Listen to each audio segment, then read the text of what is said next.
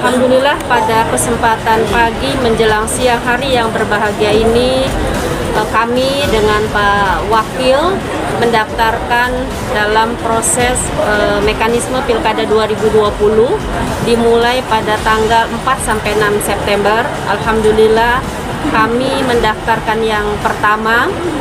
Tidak banyak yang ingin Ibu sampaikan uh, selain ucapan rasa syukur kepada Allah Subhanahu wa taala bahwa hari ini pendaftaran kami yang diusung oleh empat partai dan juga relawan serta simpatisan itu dapat berjalan lancar. Bakal pasangan calon wali kota dan wakil wali kota Cilegon Haji Ratu Ati Marliati Sohidin menjadi yang pertama mendaftarkan diri ke KPU Kota Cilegon Jumat 4 September 2020.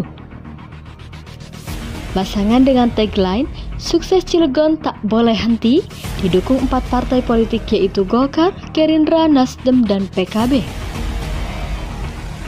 Bakal calon wali kota Ratu Ati Marliati kini menduduki posisi wakil wali kota Cilegon.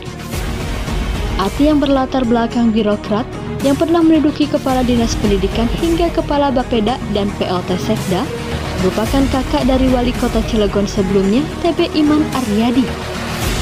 Tidak lain, anak dari Wali Kota Cilegon periode 2000 sampai 2005 dan 2005 sampai 2010 TB Aat Syafaat. Sedangkan pasangan bakal calon wakil wali kota Cilegon, yaitu Sahidin yang sebelumnya menjabat wakil ketua DPRD kota Cilegon. Politisi Partai Gerindra tersebut pensiunan polisi yang lolos masuk gedung rakyat dalam pemilu 2019.